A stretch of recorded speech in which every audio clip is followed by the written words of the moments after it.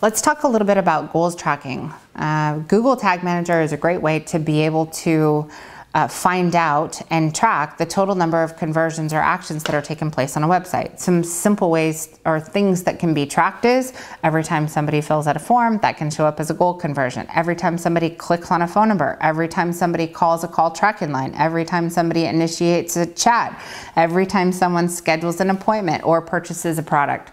These are just some of the things that you can track to determine what are my call conversion rates or what are my lead conversion rates based on the total volume of traffic. Tracking goals gives you the ability to determine what marketing activities you have implemented and how many total conversions or new leads and opportunities you're able to generate from each one individually. Again, validating the need to continue to improve your investments for those types of marketing strategies, do more of what works, stop doing what doesn't work, and always be asking the question, what's next? What am I not doing yet that I should be doing that could potentially drive additional goals and conversions on my website? I'd like to invite you to take a minute, sit down for a complimentary strategy session with our team.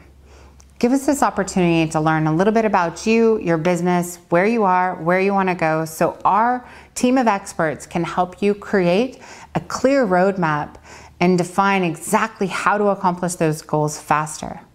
I'm confident that once you spend some time with our team, you'll see that CI Web Group is the clear choice.